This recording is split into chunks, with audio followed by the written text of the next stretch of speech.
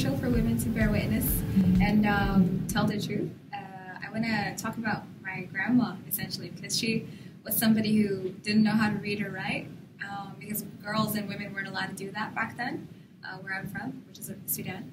And now I'm her granddaughter, and I not only graduated uh, from college, but I'm also writing, uh, and I'm writing every day, and I'm using this thing that they told us we weren't allowed to do.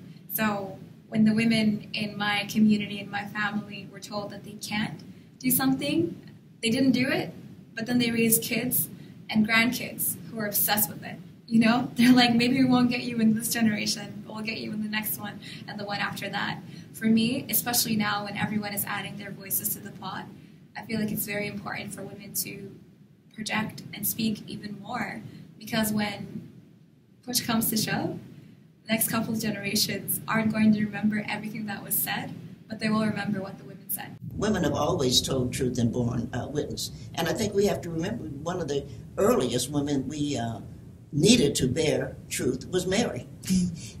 and, Mary should have cursed, you know, Joseph out. You know, Joseph uh, had had a lot of, uh, you know, I, I, want a virgin. Well, hell, so did she. Well, what did she get? An old man. So I, I think that, you know, she should have told him who who he was. And I'm not really sure that Eve shouldn't have said something a little different to, to Adam. You know, all of that, you know, oh, well, you know, this is what I'm deciding, and you're turning me on. Well, it's your penis, and you ought to learn to control it. Mm-hmm. And maybe if, if, if Eve had said that to Adam, maybe we wouldn't have some of the problems that we have. And so now what we've got is a situation of men cannot control their bodies, and they're going to blame women for it. Mm-hmm. Doesn't make sense. I think it's important for women to tell the truth mm-hmm. and bear witness because for how long has our our truth been denied or our truth been silenced? For how many years have we been taught that we have to make a fiction of our own experiences, you know, a myth of ourselves?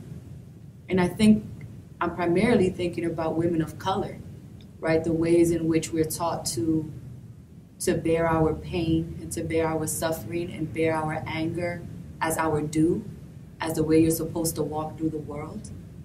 And what does it mean to say,